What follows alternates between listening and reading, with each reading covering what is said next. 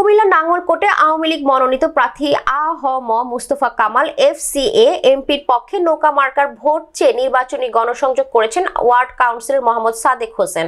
তিনি ওয়ার্ড আওয়ামী লীগ, যুবলীগ ও ছাত্রলীগ নেতাকর্মীদের নিয়ে ছয় নং ওয়ার্ড এলাকায় বিভিন্ন পেশাজীবী মানুষদের সাথে নির্বাচনী গণসংযোগ ও লিফলেট বিতরণ করেন।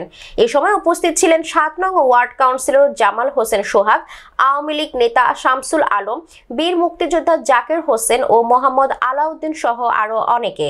গণসংযোগকালে কাউন্সিলর সাদেক হোসেন বলেন শেখ হাসিনা সরকারের উন্নয়ন থেকে কেউ বঞ্চিত হয়নি। বঙ্গবন্ধু কন্যা বাংলার দুঃখী মানুষের মুখে হাসি ফোটানোর জন্য দিনরাত নিরলসভাবে কাজ করে যাচ্ছেন।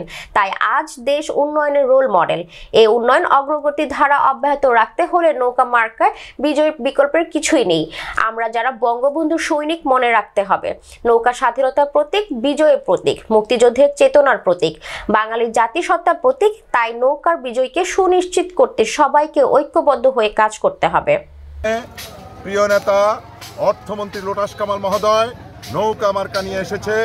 আমরা নৌকা মার্কার আজকের গণসংযোগে এসেছি।